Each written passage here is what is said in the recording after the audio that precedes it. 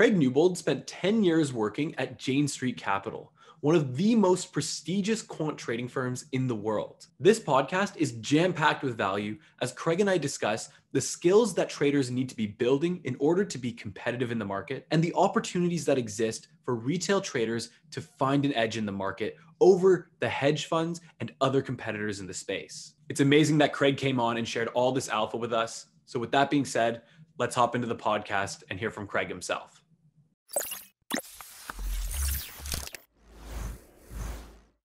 So yeah, my, my path was always uh, a bit of a weird one. I'm going to try and keep this to the brief version so I, I don't send everyone to sleep.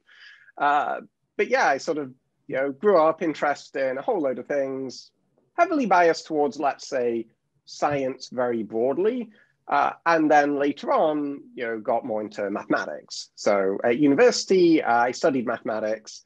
Uh, but spent a lot of time dabbling in a lot of other stuff, uh, you know, electronics, radio, uh, you know, computer stuff, uh, even some computer security stuff.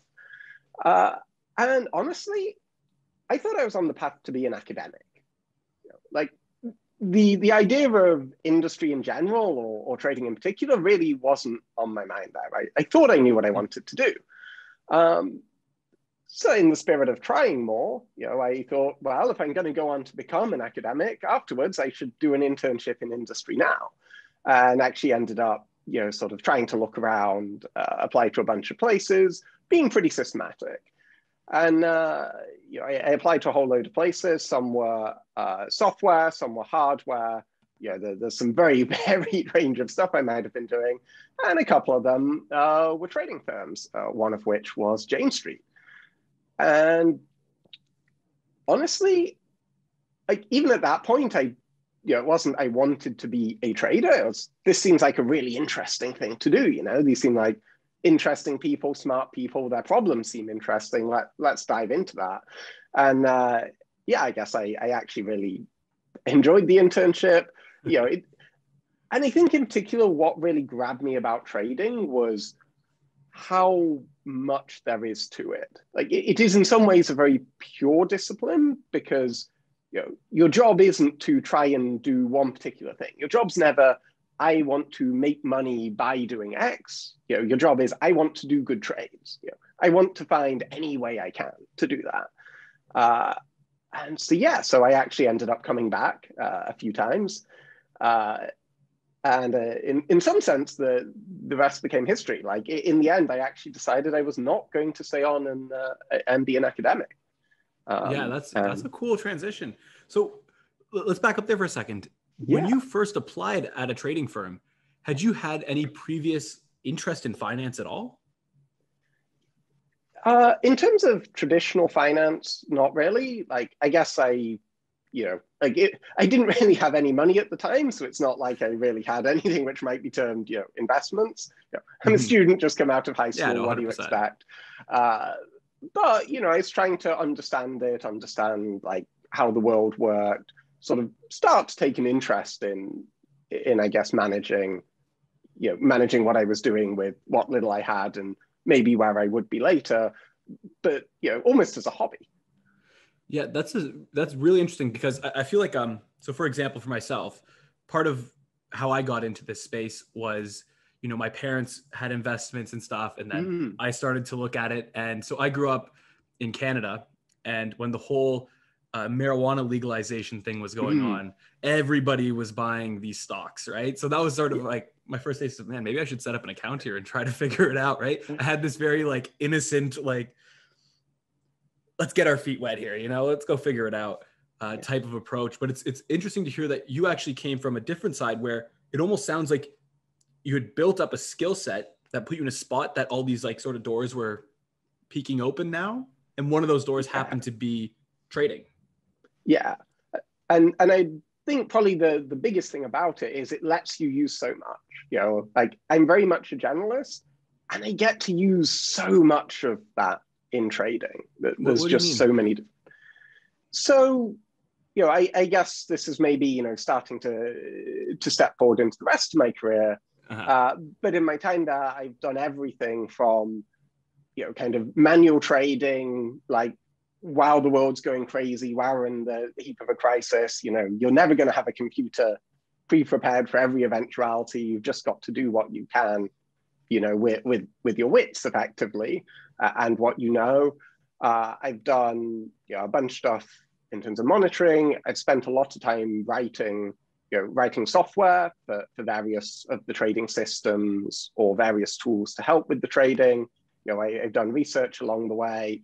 You know, I even had the excuse to to try out some of the more modern deep learning uh, methods, mm. uh, you know, directly on trading problems. And know, I, I, I, have opinions on that, which I suspect will come up later.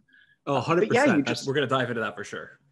yeah, you just get to use so much. You know, like it, it's a fascinatingly varied field.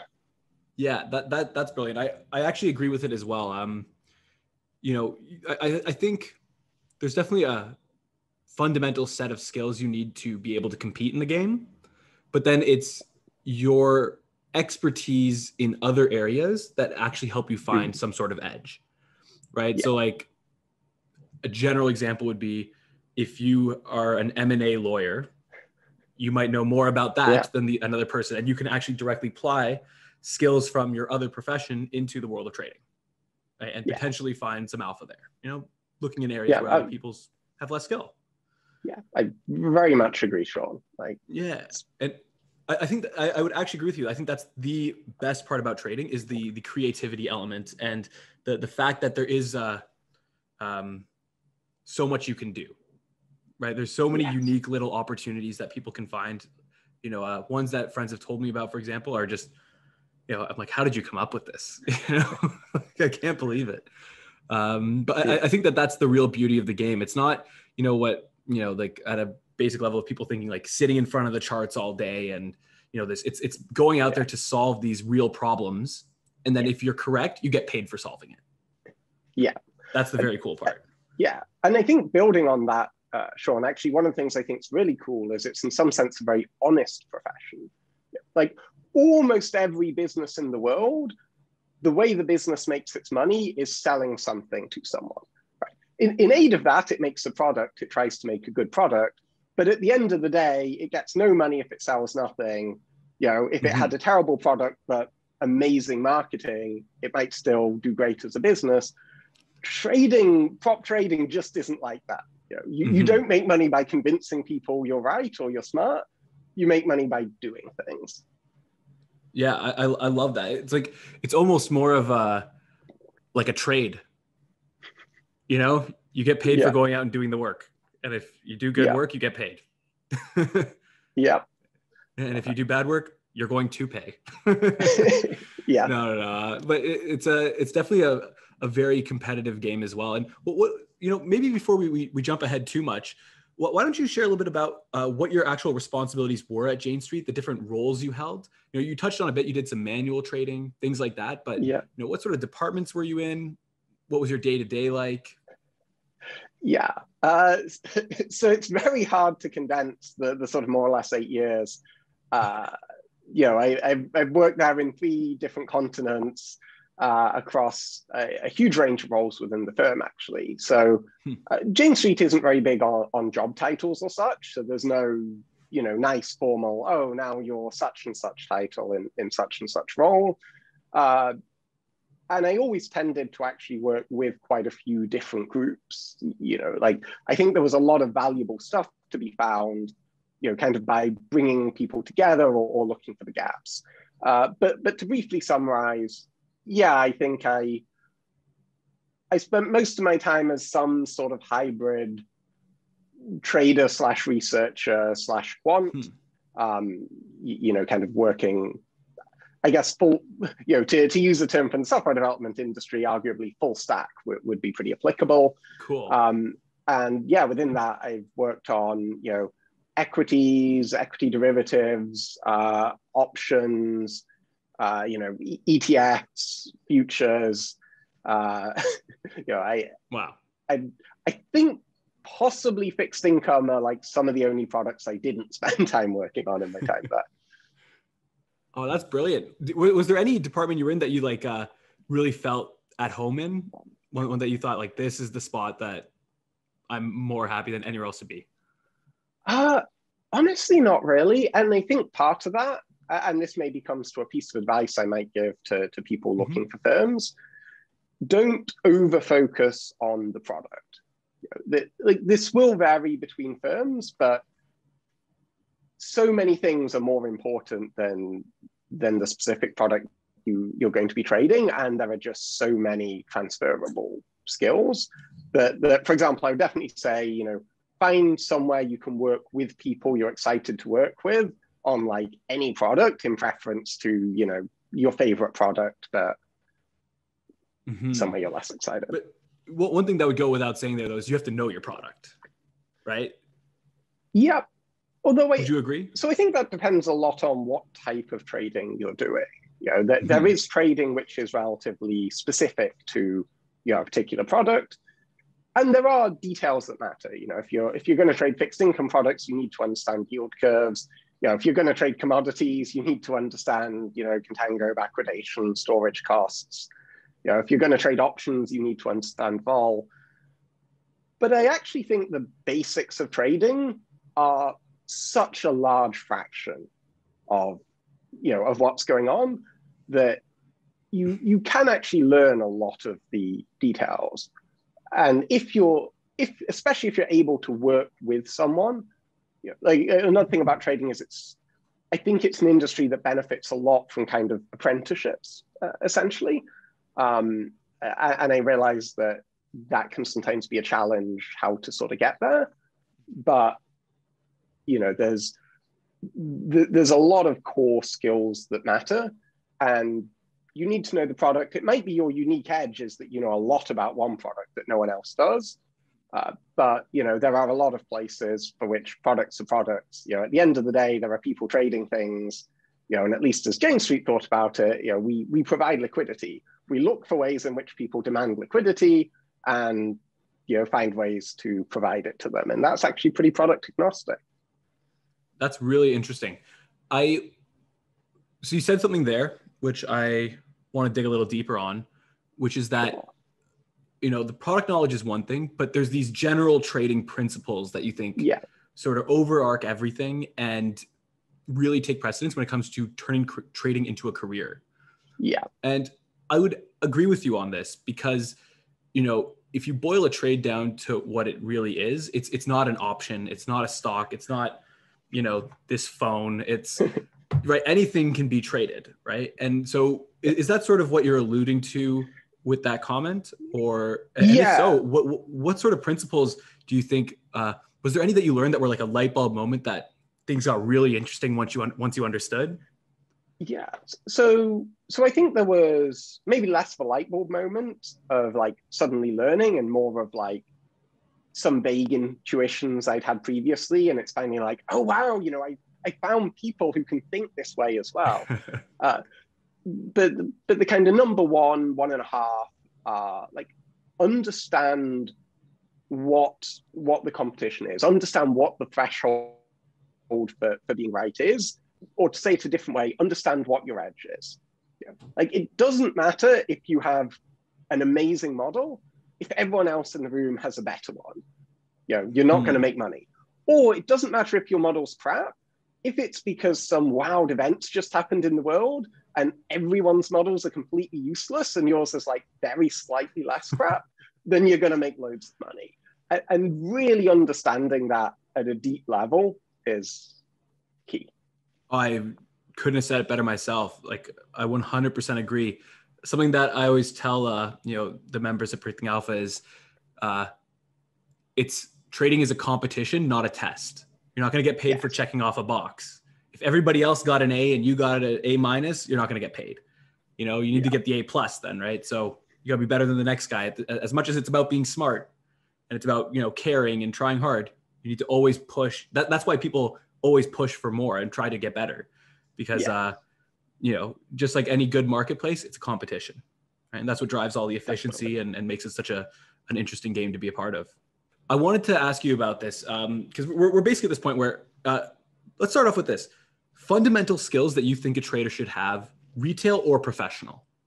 Yeah. What would you say that if you're like, if you're actually serious about this game and you're spending, let's say, 15 plus hours a week on it, Yeah. We'll call that being serious about it. Sure. Where should you be spending your time as, in your opinion, as a beginner or an intermediate or even an expert level uh, trader in terms of proficiency? Yeah. That's a great question, Sean. Uh, so I guess starting starting at the beginner level, I would basically say internalizing this idea, you know, that we've just talked about of like that it is a competition, and explicitly thinking in terms of what do other people know, why are other people doing what they're doing, you know, like given the fact I've been able to do this trade, what does that say about the world's beliefs? And I'd say that's probably the yeah, the kind of biggest hurdle that moves you from a position of, you know, you might make money if you're lucky, but I, am you know, I don't think you're in a stable trading position through to you're going to find a way to make some money. Because of course, the flip side of that coin is that you don't have to be better than everyone at everything. You just have to like find some little chink, some tiny little corner of the world where you do have edge. And as long as you're thoughtful about, you know, making sure you're trading when you're using that edge and not when you're not, you know, you, you can make money without having to, you know, outcompete the the Jane Streets, the the Citadels, yeah. the Susquehannas of the world with giant, you know, quant teams. So that and then just being comfortable with uncertainty, like having a good intuitive understanding of what kind of uh, you know what sort of uncertainty and probability is. Like, how confident are you uh, one of the interview questions I, I used to ask was, you know, uh, basically an estimation question, but I was very interested in how, you know, how confident people were in their answer and where their confidence interval was. Uh, and, you know, this wasn't like a binary pass fail test. Like, spoiler, basically nobody is like good at that from cold. You know? it's not, oh, no, you, you weren't an expert fail. It's definitely what, what, what, what, was the question? Like, uh, how many gumballs could fit in the Empire State Building or something like that? uh, yeah, I, I, mean, you know, there's, there's a family of that. They tend to get called uh, Fermi questions uh, okay. after, you know, uh, after the Fermi. Um, but, but the interesting thing is empirically, you know, th- these are smart people, right? Uh, you know, the 90% confidence interval contained the true answer maybe 50, 60% of the time. Hmm. And, and I think that's just normal. And so the big thing to drill is not, you know, it's not, oh, I need to get better at, you know, knowing things. It's, I need to know if I say I'm 90% confident or if I say I'm 50% confident, what does that mean? And, you know, it doesn't have to be a number, an equation, but intuitively knowing what those mean uh, matters a lot. And like, I think bridge and poker players, for example, will, will often be pretty good at this. Uh, do you play any poker yourself?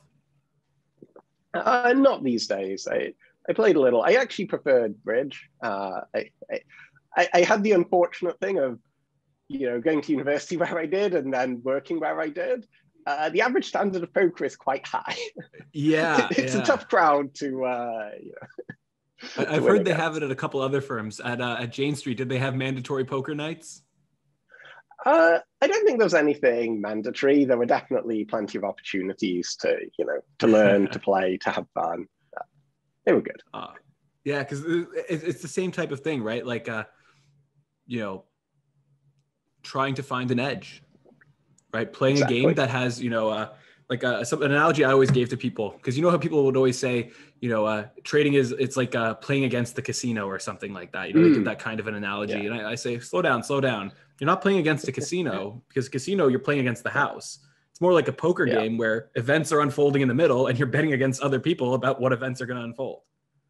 Yeah, you know, and, and definitely. It's a very different game when you when you change that dynamic slightly, right? When you go from playing against a house that has the edge over you to playing against a game where you could have an edge over someone else. Yes. Right. Um, so, and, and then as for like uh, somebody who's let's say an intermediate level trader in the mm-hmm. retail space. Yes. You know, um, uh, let's say they're at a point where they they're, they're thinking about expected value, things like that. Uh, they've got a good understanding of their product. They've you know they're they're trying to take it really seriously. What what advice would you have for someone in that stage? Uh, uh, you know, in terms of like where they should be looking for information, or you know how to evaluate good and bad ideas, things that they should be adding to their knowledge base or discarding from what they consider. How should someone at that stage be thinking about the game? Yeah. so the first thing, and maybe this is cheating, is prioritization. Like think try to really think about what it is you you need to do next because there's always going to be more improvements you can do you know more ideas you have more pieces of information you could learn or research than you're ever going to have time for. And like treating it as a real problem you know like what what is the valuable thing to work on now? Which things am i going to accept being less good at? I, I think really accelerates uh, development. And then as a more concrete thing probably being really careful about overfitting in in all its guises uh, the, the world is you know this this sort of unfriendly place uh, you know one thing i do believe very strongly is it's very hard to make money trading markets are mostly efficient right? mm-hmm. the, the default is they're efficient it's hard to make money so if you think you found a trade you know the bar should be relatively high obviously it depends on costs you know if you're given the ability to do a trade for free nah, sure you know, whatever. No, yeah, um, you might have a bit, of, but that's an edge. yeah, um, but yeah, like like really thinking and worrying about all the things you could have tried but didn't. You know, mm. and one of the things I found at Jane Street is well, firstly, a lot of studies done in sort of the broader world are just uh, you know kind of p-hacked, uh, are just horribly overfit, even through no fault of the authors. Um, so stop me if this is too much for attention, but one of the things I found really interesting from the machine learning field is you can get a situation where every individual author behaves entirely honestly. You know, they they only did one test and they, you know, accurately, you know, they accurately say what the results were, you know, I don't know, was it significant at some confidence level, say? But if only the successful ones get published, the unsuccessful hmm. ones, you know, go away, do something else, then as somebody reading one of these results, even if you know the authors themselves were entirely honest and diligent, you know, the literature as a whole is biased towards positive results and the confidences are, are overstated.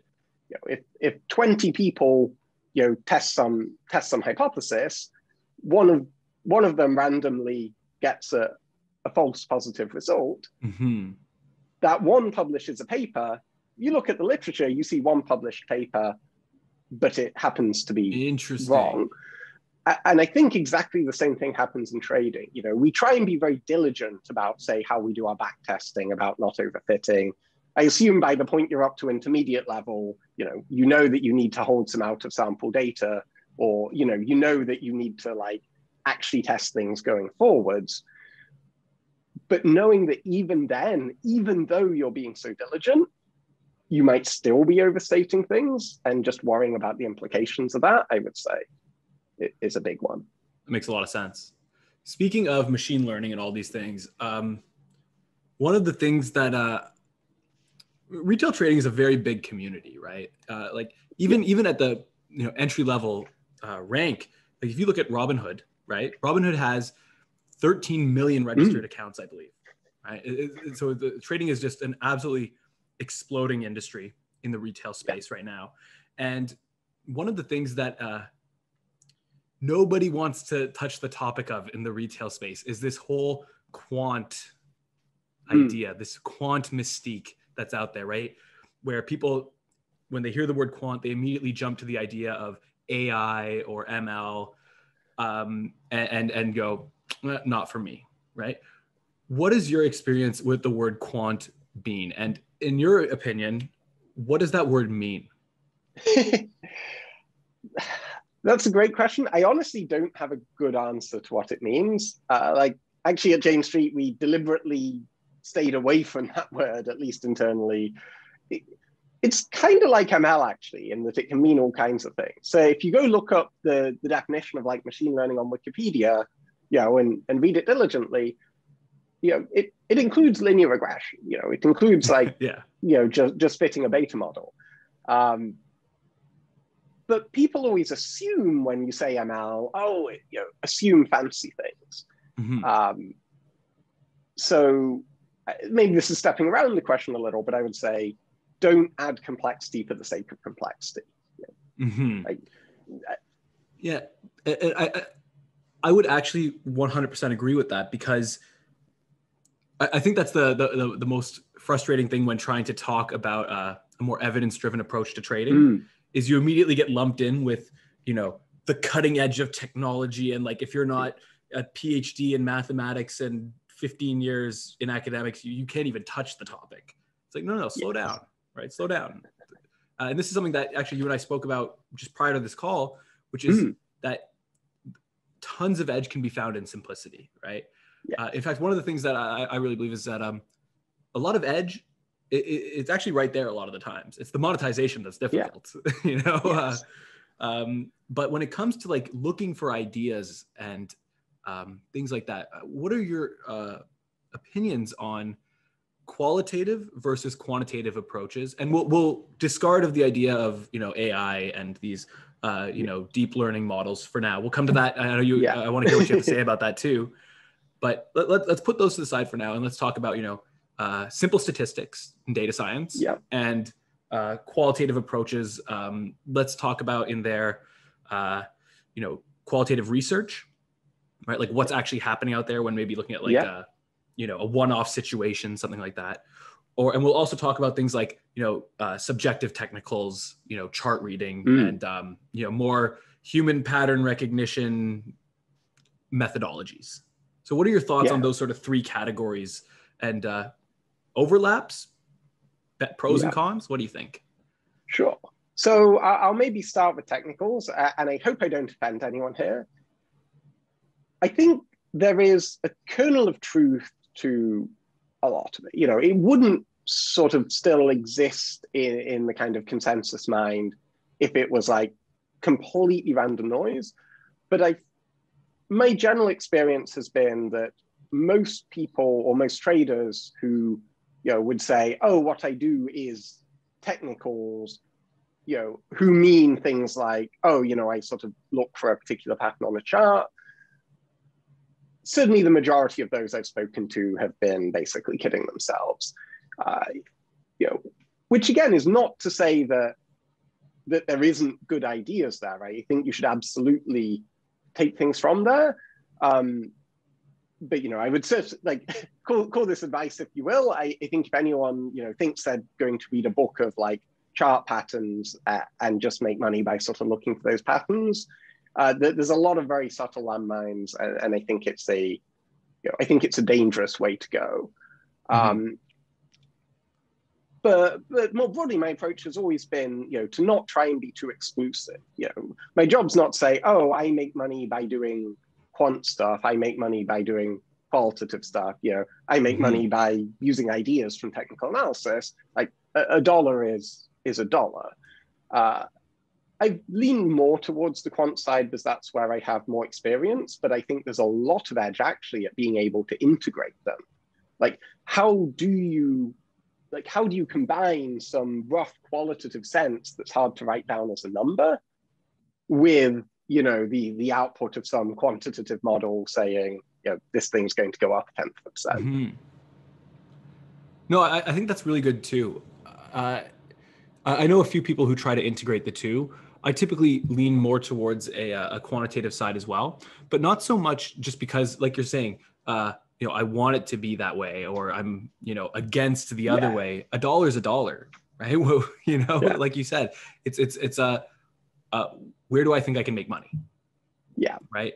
And um, the the, the hard part for me, because so from from my background, remember I was saying I I came up the the traditional retail route, mm. right, where uh, you know, technical analysis was certainly a part of my analysis for a very very long time. Um, it, it, was the primary analysis and the only analysis for a very long time as well. Um, and the hard part was that I would win and think I was on the right track and then lose, or I'd lose, make a change, and then win and think I'd made a, a progress, yeah. but I could never tell if I was just going in a circle. and yeah. the hard part was because, uh, you know, I could never escape the subjectivity of it, which made it hard mm. to, you know, build something on it. Right? It, it sort of yeah. felt like unstable ground to be building a house on. Uh, was yeah. one of the challenges I always had. Yeah, and actually, I think to your you know to your point earlier of like maybe how how to think about choosing. Um, for any given idea, I'd say there's you should be as quantitative as the idea permits. You know, if you're talking about some phenomena that should happen every second of the day, every time the price moves, then you're you know that's the most studyable thing ever. You know, mm-hmm. if you're mm-hmm. trying to do that trade without studying it, you're doing something very wrong. On the other hand, if you have some, you know, idea, you've done some qualitative research, maybe, you know, some company has had some weird thing in its earnings, maybe some weird geopolitical event has just happened in the world. You know, like it's almost by definition unstudyable. You know, yeah. n equals one. You know, you're being as quantitative as you can. Uh, yeah, I get what I you're saying. Those can be interesting. Yeah, and you know, um, there's a, a book that we recommend uh, our members to, to look at. Uh, it's called Evidence Based Technical Analysis. Mm. And basically, it's about can we quantify these things? And if we can, mm. then we can test them and then we can say, does this make money or not?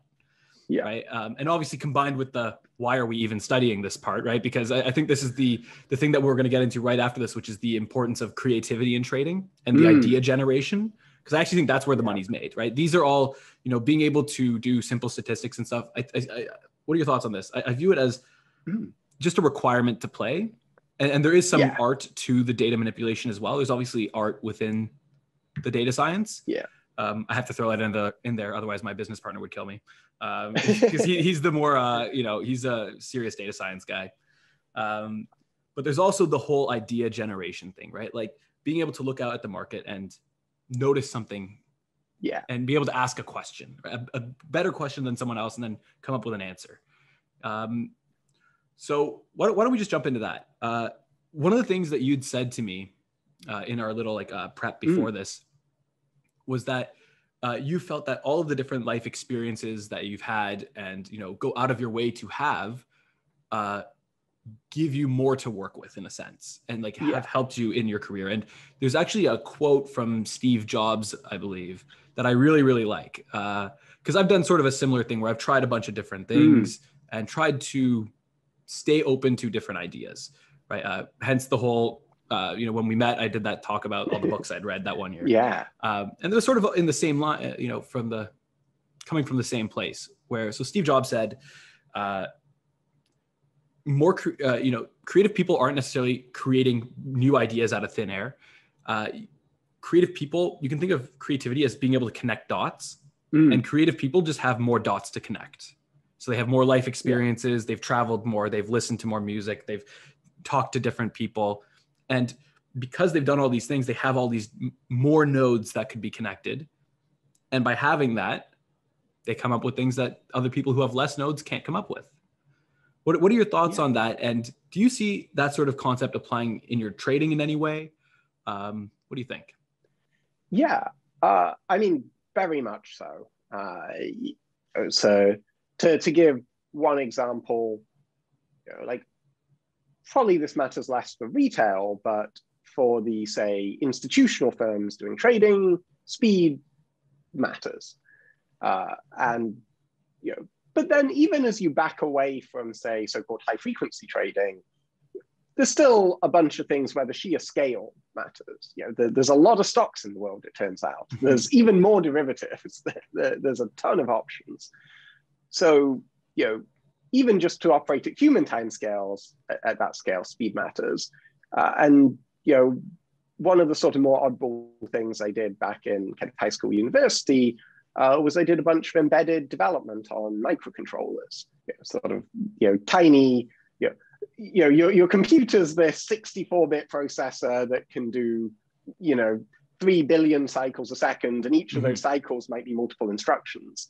You know, tiny microprocessor that's running 8-bit instructions. You've got like three registers. Like there's literally three bytes you can store data in that you're allowed to do operations on and maybe you've got like 256 bytes to like store more code but you do that and, and you understand what's going on and, the, you know it gave me this appreciation at a much lower level so fast forward many years like a lot of things just become very intuitive in terms of say seeing how you could make something faster, or more precisely, how to make something not slow. Um, so, so that matters. Or, you know, to throw a completely different one out there, the kind of some amount of background in, say, physics, uh, you know, physics and radio and understanding trade-offs and limitations there.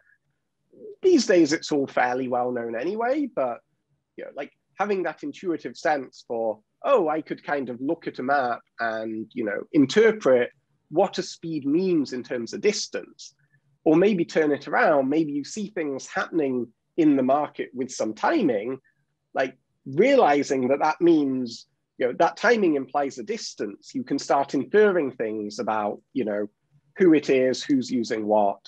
Um, you know kind of basically understand what's going on in the world what's going on in the trading uh, in a much more fine-grained way than you might if you know you, you didn't have the, this idea. So so there's sort of two very different things in my background that, that i think have kind of helped me there. Brilliant. And you know the the thing that I think about uh, with, you sharing that is uh, information speed and uh, you know how quickly things move. This was actually something that Augustine talked about when we had that meeting as well. His whole presentation mm, was on yes how unbelievably fast and the, the, the development of information movement over the last like yes. 100 years has been and its impacts on the financial world and yeah.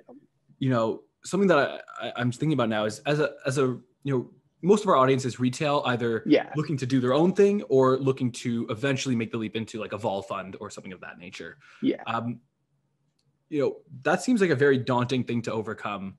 Um, have you ever seen the documentary Inside the Black Box? I haven't actually. It's a it's an interesting one about what goes on at these high frequency firms and stuff. Mm. And I watched it and I remember being traumatized after, like, how am I ever going to make money here? and yeah. uh, no, because it's it's a real phenomenon, like how quickly this information moves mm. around. Mm. And um, you know, as as a retail trader, that's definitely like a not the space to compete, probably.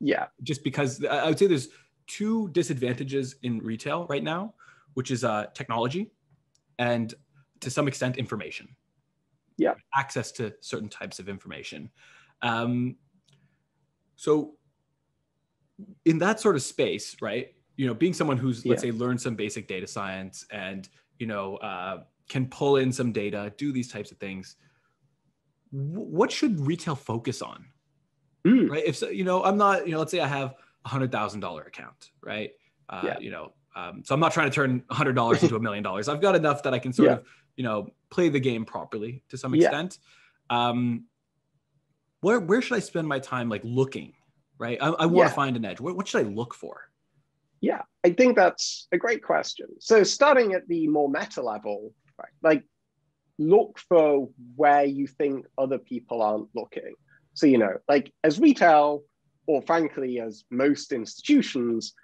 there's no point at all trying to do oh, you know, I'm going to do an arbitrage between SPY and, you know, the, the SPY ETF in New York yeah. and uh, the futures in Chicago. Like, the, there's no point at all. So don't bother trying. You can still use that information. Though. Like, an interesting consequence of this is, well, any information, let's say you're, you're in New York, let's say you're an equity trader, any information that's coming from Chicago, like, is reflected in the price of the SPDR ETF in New York before you get to see it hmm. come from Chicago. So, uh, you know, maybe that doesn't matter. You know, that timing is not going to matter much unless you're at least an institution. But that principle. But I think, yeah, the, the principle generalizes, right? Like if if for some type of information and at some time scale, you know there are people out there that are just faster than you, then fine, let them move that information and take advantage of that moved information to you know, find something else you can do. And then I would say the, the sort of fills into the next principle of these big firms, they don't have infinite capacity. You know, they are having to prioritize as well. So again, you know, don't go looking for a trade which is obviously worth it for them but on the other hand, if you're retail, say with a with a hundred thousand dollar account, there's a load of trades that you know are real money to you that aren't worth the time of day to the to the Citadels mm-hmm. of the world, to to you know the giant hedge funds or to the Jane Streets. Um, you know, go go looking for those trades. Yeah, that's that's what I, I I never understood when someone would say like I only follow blue chips. I'm like, why? yeah, why yeah. are you doing this? Go look where yeah. you know, like uh, you don't need to be uh don't try to be the guppy in the ocean. You know, be the yeah. guppy with the tadpoles. Go find the even smaller fish than you, and that you can you know get some food. yeah, definitely. Yeah, like another one that uh, we we have spent some time looking into is uh, you know one of the edges we think retail have is uh, risk tolerance. You don't mm. have a you can embrace more variance because you don't have a, a risk manager breathing down your shoulder, cutting your capital if you have a five percent drawdown, right? So, w- what are your thoughts on something like that being an edge for retail? Yeah, I think there is a spectrum of risk tolerances within, let's say, the institutional players.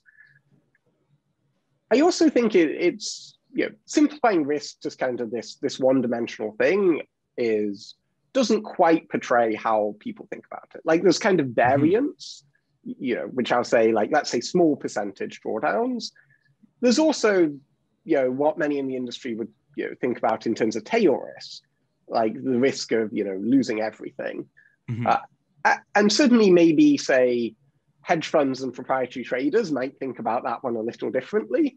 Uh, you know, the, the implied yeah. badness is different. Um, but yeah, like certainly as retail, you're you're maybe in a position to accept variance. You're also maybe in a position to you know accept risks that are unacceptable to others. You know, like if if like let let's say you know you you happen to know that in the space in which you're working, you know, lots of the institutional players have like a five percent or a ten percent drawdown limit, explicit or implicit, you know, you're going to see all kinds of weirdness happen around that boundary, right? You know, the hmm. sort of the price of insurance, say through options, yeah. that you know keeps you to just inside that loss versus just outside is going to start looking very different.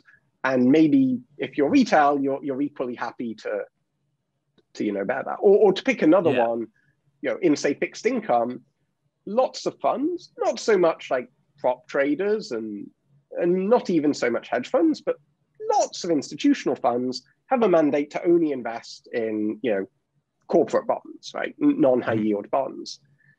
So you know if you as an individual don't care, you know, don't care about this like arbitrarily fine dividing line, or maybe if you as an individual don't care so much about, you know, whether it just fell out of this magical, you know, investment grade status or not, there's potentially going to be opportunities there. And I believe there's a bunch of results in the literature to the effect where, you know, the right, you, you take like the best rated high yield bonds and the worst rated investment grade bonds. And like in actual credit risk terms, they're basically the same, but the high yield ones are a bunch cheaper. Mm-hmm. Interesting. I uh okay. I want I want to pivot a little bit here. I, I had another thing I wanted to ask you about. Um, and th- this is going to uh, bleed into a couple other things we'll be able to talk about too. Uh, so, when you worked at Jane Street, how much of your time was spent, uh, discretionary or systematic, on uh, you know developed strategies or, or developing mm-hmm. new strategies that uh, you know captured some sort of like risk premium or like were repeatable things things that occurred at certain intervals or something of that nature yep. versus how much of your time or or would they even look at events that were like one off maybe like distressed events where the market uh you know takes a huge hit or a particular asset class takes a huge hit or some sort of uh one-off discretionary event happens how yeah. does a firm of the size of Jane Street address these two different things uh, and, and, then if, if, they do look at these one-off things what's the sort of process uh, that someone would go through to to evaluate something like this mm. yeah yeah great question so let's say for me probably like i don't know 98% of my time was on you know repeatable things uh, but there, there was variation. Indeed, mm-hmm. you know, with a firm of that size, you know, there are some people who say speciality is is maybe closer to thinking about rarer or, or more unusual events. Um, mm-hmm. And yeah, like I, in terms of process, I wouldn't say there was like a you know, I don't think there's one particular magical process. Like in in some sense, the definition of a one-off event can almost be, you know, the, there's no nice sort of you know standard framework in which to put it in. Mm-hmm. because if there was well maybe you should think of it as belonging to like you know yeah. that, that class of events and study them as a whole. Just a bigger time uh, frame. yeah. You know the, the most interesting ones are the most unique the, the things which have never you know happened before or or very very rarely. Uh, but in terms of things you know we would want to think about in terms of things that are good to think about you know you going back to what was said earlier, you really do have to just think about, okay, what do I know? What do I think other people know? Why do I have edge? So, mm-hmm. sort of the most important question is articulating why you think you've seen some edge that the rest of the world hasn't. Yeah, or maybe like why are certain people acting in certain ways, and is there something there I can take advantage of? Uh, you know, reason I bring that up is you know a couple events that have happened recently, right? Uh, if we look at uh, everything happening in China, right? You had the originally like one, one of the ones that came up was um uh the the Archegos fund that blew up. Right. Yeah. And and so you know that was one event that we we were in a position around. Um, and then more recently, uh, with all the the government crackdowns over there, mm. the hit to the education tech sector and, and things of that nature. Um, if we were to use that as an example, right? And, and somebody was like, well, you know, it's like whenever there's chaos, things become a little less efficient, you know, and there, there's yeah. definitely some room uh, to make some, somebody's going to come out of this making money. I should, yeah. you know, if I wanted to take my stab at trying to find the way to look, let's say uh, institution or retail level, how would someone go about approaching a situation like this? Yeah, uh, great question again. Uh, trying.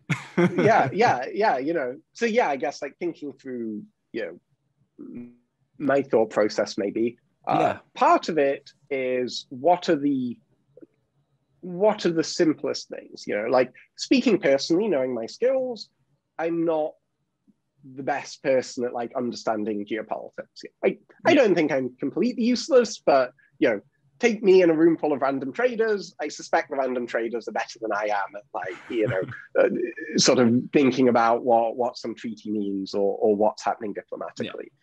So so I'm not going to spend my time trying to look for those kinds of things. Mm-hmm. Um, but you know, the first thing I'm going to look is like how how distressed is it? You know, how disorderly is the market? Uh, because you know maybe some of the easiest edges are just where various participants are no longer taking part. You know, I don't know if you know take say the I guess this is a different event, so I'm cheating, but like the quant fund meltdown of, yeah, well, you can take your pick now. Uh, There's been a few, you know, like almost by definition, like not only are, are those funds having problems, but a lot of the other funds are going to be similar funds will be having problems doing similar trades, right? They're, you know, their, their brokers, their risk managers are going to be a bit nervous about yeah, what's going margin on. requirements are going to be jacked up. Things will be different. Yeah. Yeah. So, you know, but like the, the core things they're doing probably still make sense. You know, it, it's not to the extent that those ideas are sort of fundamental ideas about the world, you know, there are still going to be trades there that work that maybe previously were very hard to make money doing. That, that if you were, mm. you know, retail or or you know someone not not especially good at that, you wouldn't be able to. Now maybe those trades become good again. So so one of the first things I'm going to do is like look at you know, look at all kinds of like what what what facts about the world do I believe that are normally competed away that maybe are no longer being competed away. Okay, we've done we've, that, that that makes a lot of sense. Um, but we've done a lot of talking about hypothetical trades here, so I, I got to ask. Yeah. Uh, I feel like this is a question that never gets asked on trading podcasts for some reason, but it's just generally do you, tell tell us a trading story right? Tell us, uh, you know, if you can, right? If you're not yeah. uh, under some crazy NDA where you can't say anything, you know, tell us a story, like uh, yeah. so maybe a moment you were a part of historically, or like, uh, you know, something that really stood out to you, like something you were really proud of, maybe.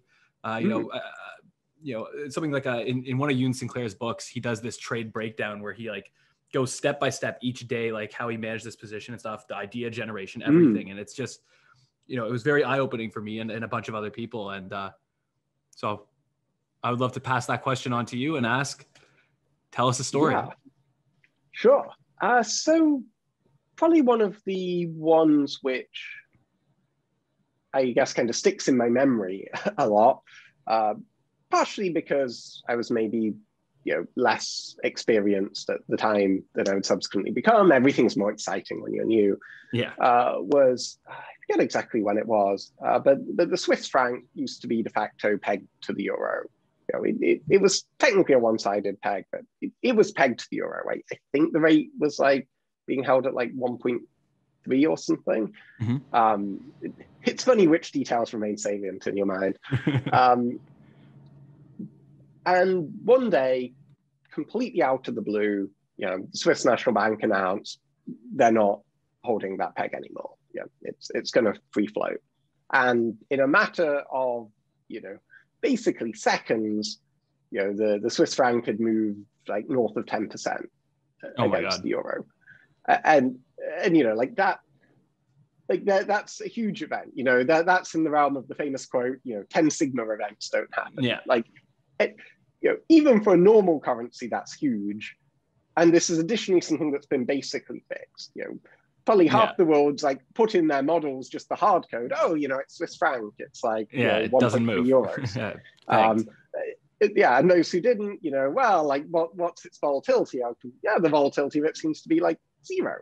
Um, yeah, it's one one percent annualized. Like, come on. yeah. So, so you simultaneously had two really interesting things happen. You know, the the first is like even just the the futures or different locations you could trade it like you know this this is in some sense an easy arbitrage mm-hmm. um like suddenly broke down and there's all yeah. kinds of reasons like honestly like i think a lot of people had technical problems either due to you know sudden loads on various connections or just due to you know various things being tripped like a lot of mm-hmm. very prudent things would have your automated systems trip off if some fundamental assumption of the world is violated. Um, yeah. And, and, and indeed, even for us, like we, you know, many of the automated systems were for various reasons unable to basically work in, in, in the aftermath of that. Uh, and so there was suddenly, you know, you're talking like one of the most liquid efficient arbitrages in the world. And there's suddenly an opportunity to do it literally by hand through a manual order entry system. Um, wow. You know, like it, it's obviously terrifying. You know, everything's moving a lot. You know, all your sort of intuitions built up are hard, but like, you know, really sort of thinking about that, focusing on that, you know, doing that was, you know, actually pretty valuable. Like, and moreover, like in some sense, I think it helps make the world better. You know, like like in regular times, you can have a lot of argument over like, you know, do market makers actually add real liquidity, etc.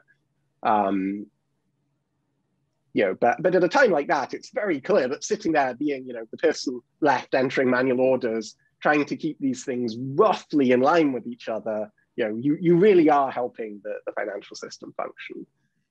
Yeah, and the on the flip side of that too is you know for providing that service you get compensated pretty handsomely for it, right? Yeah. And you know, but but so this is one of the things uh, I'd love to get your opinion on.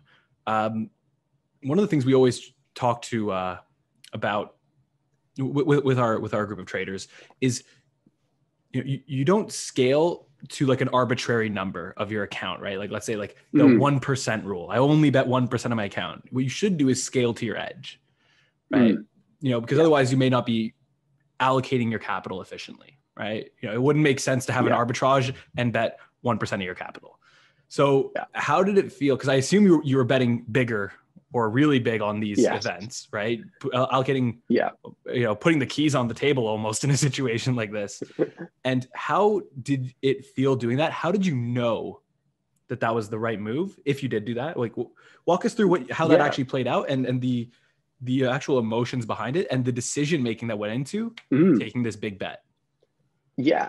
So, you know, one of the nice things about getting to work with people, um, and this is why, you know, I would suggest for like trading on your own is tough. Like I would strongly suggest for any retail, like find, you know, find a buddy or, or someone you you can at least talk things through.